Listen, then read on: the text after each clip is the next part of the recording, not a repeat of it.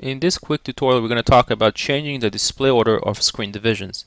So if we right here we have this uh, screen configuration or three different screen divisions that are part of this high definition screen, what I can do is I can create actually multiple screen divisions and change the display order of each screen division by dragging and dropping each particular screen division or viewer as we call it. So if I select this viewer right here, this viewer is on top so it's actually going to display on top of everything else. And in fact, if I make this viewer just like this, whatever resource is going to play is going to occupy the full width and height and I'm not going to see the other screen divisions unless this resource has some transparency which we support.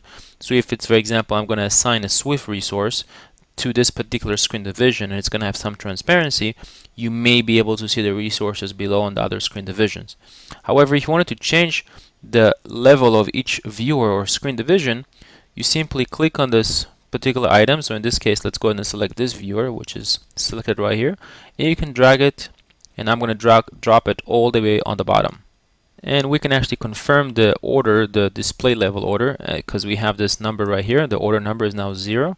And of course I can go and change the order again by drag and dropping and then if I click on it again you see now the order is 2. This is 0 base so this will be 0, 1, 2, 3 and 4.